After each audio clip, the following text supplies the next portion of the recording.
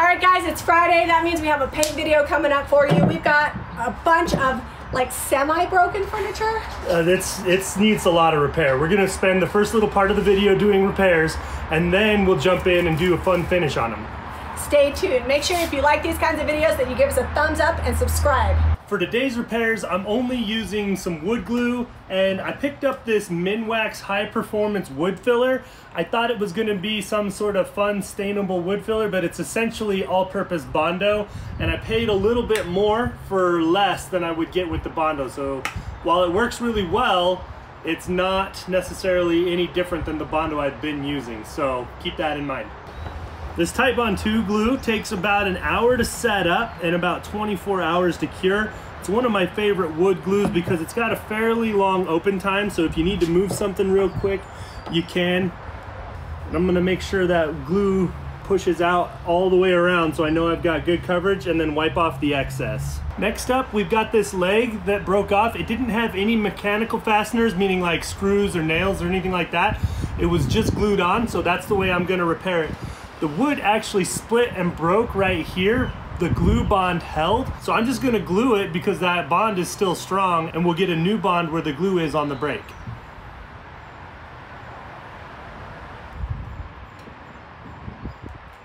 So this little table here doesn't need a ton of repair. It's got this split here, but someone's already put wood filler in there for me. So I'm just gonna sand that. And then it has some wobble on the legs. The doweling is loose. So what I'll do is I'll pry that open and then re-glue these and push them back together. All right, so this dowel stayed in there and this dowel stayed in there, so we're just gonna glue the opposite sides.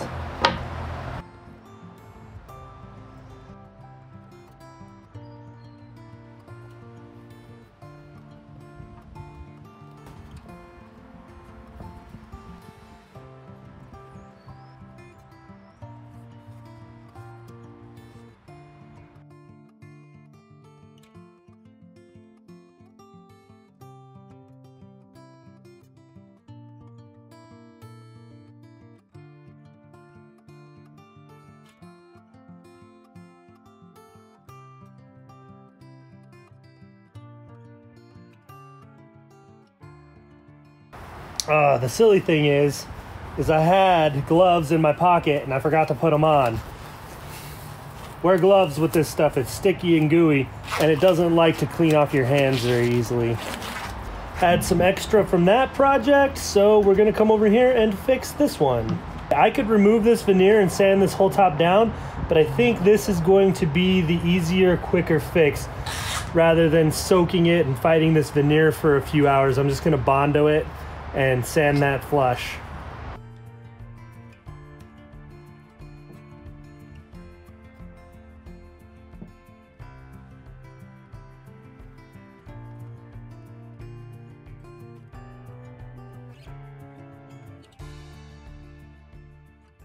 I waited about 15 minutes.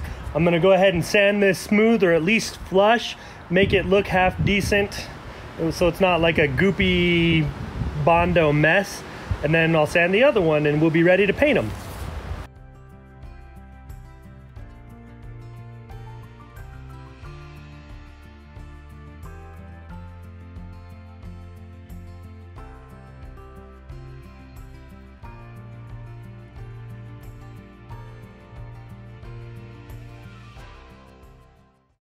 All right, we're gonna have a paint off. They're basically the same table.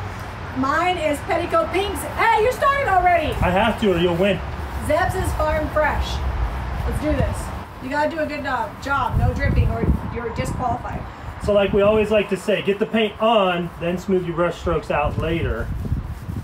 I think we're just gonna go with basic colors on these today. We're not gonna do any crazy blended finish or anything. Maybe some white wax if we have some bleed through issues, but we'll see. The darker colors, Jami might have bleed through, but this Farm Fresh should be good to go. Well, I have to be careful because I am wearing a new shirt. Just don't cling any on mine. I don't want pink on my Farm Fresh.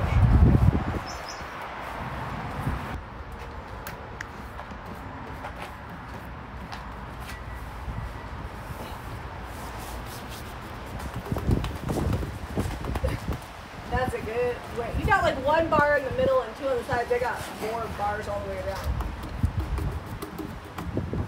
So Sometimes you gotta get down and lay down next to the piece and paint it good.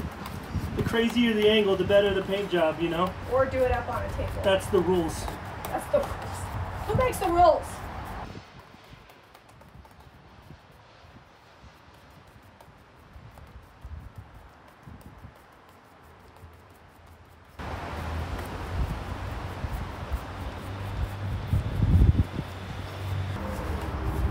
I better paint faster. You're catching up.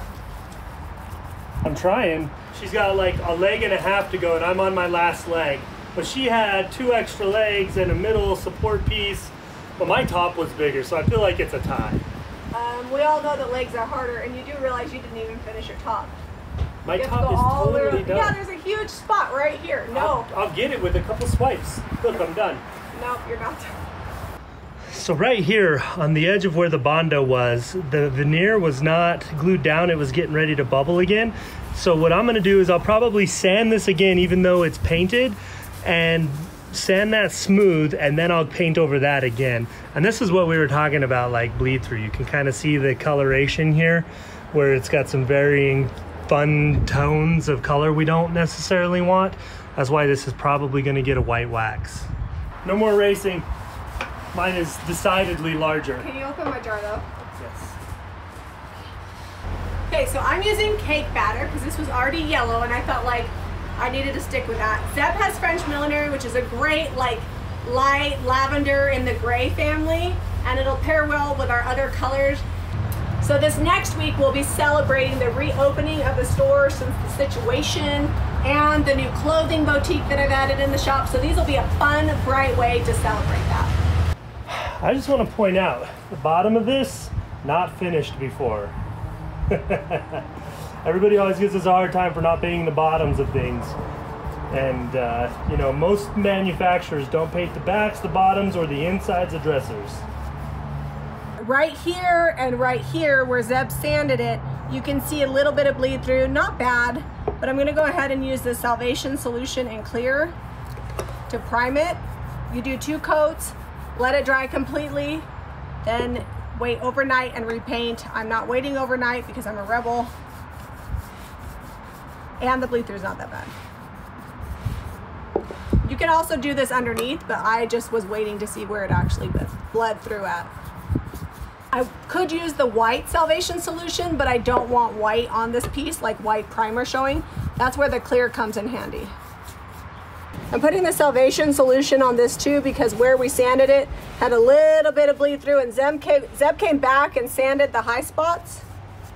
So I'm just, I'm probably gonna do the whole thing. It actually has a strange pattern of bleed through that's very faint that I feel like is gonna come through later.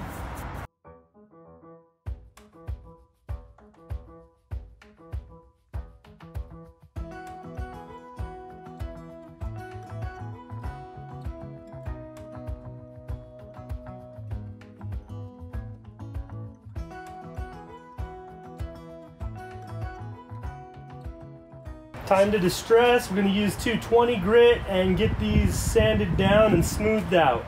We'll probably also hand sand just a little bit on the details where the sander can't get, but we're gonna do the base sand with this and then we'll get the details in a minute.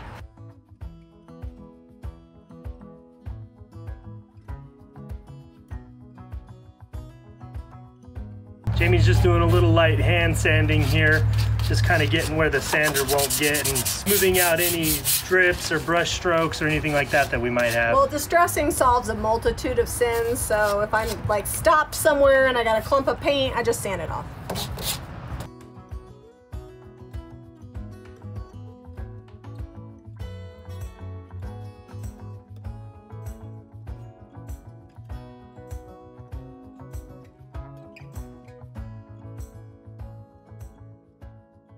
I'm gonna go ahead and use some clear wax. I already used the DIY white wax on it to give it some fun highs and lows.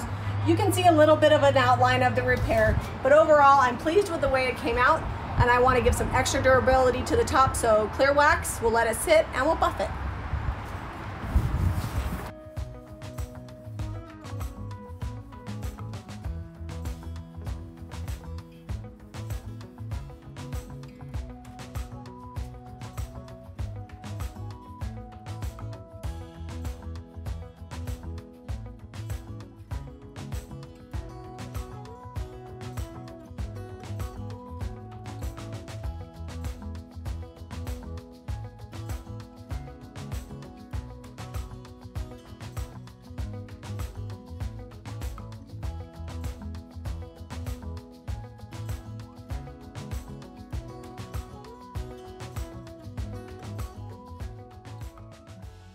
All right, I am loving the way that these turned out. We actually found a spot in the shop for them, so I'm gonna go get them staged up and priced so that way we are ready to open tomorrow. You know, it always starts out, we're gonna just do these tables real quick, and here we are late afternoon getting done, but they look great.